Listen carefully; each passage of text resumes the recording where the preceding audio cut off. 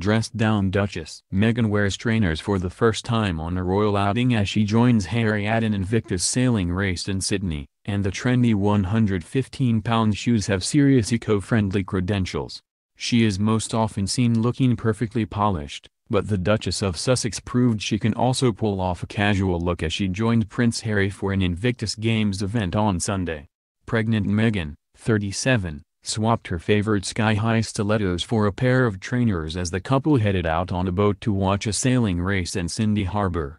It marks the first time mother-to-be Meghan has worn trainers on an official royal appearance. While her sister-in-law the Duchess of Sussex is known for her love of Superga casual trainers, Meghan opted for a stylish 115 pounds pair from French footwear brand Veja.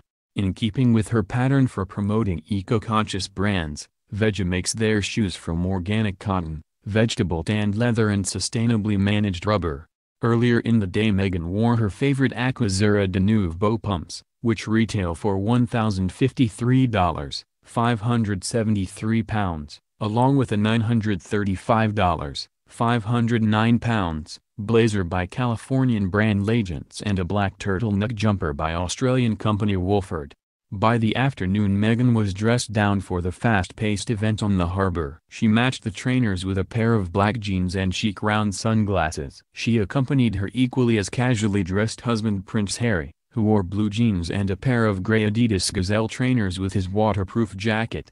The couple and their entourage took a rib out to a yacht, a 40-foot Hanse 400 model, where they met an American couple who were cheering on their son. Despite the slightly choppy water, the couple stood up to see the race in action, laughing and smiling as they held onto railings for support. The Duke and Duchess then disembarked the yacht and got back in their rib. The couple are currently on a 16-day tour of Australia, New Zealand, and Pacific Islands. The Duke of Sussex encouraged his pregnant wife to slow down after she felt tired when the opening of the Invictus Games overran by nearly two hours, royal sources said. Sources told Mail Online it wasn't that the Duchess was feeling ill, but that they were trying to pace her given how many engagements they have coming up.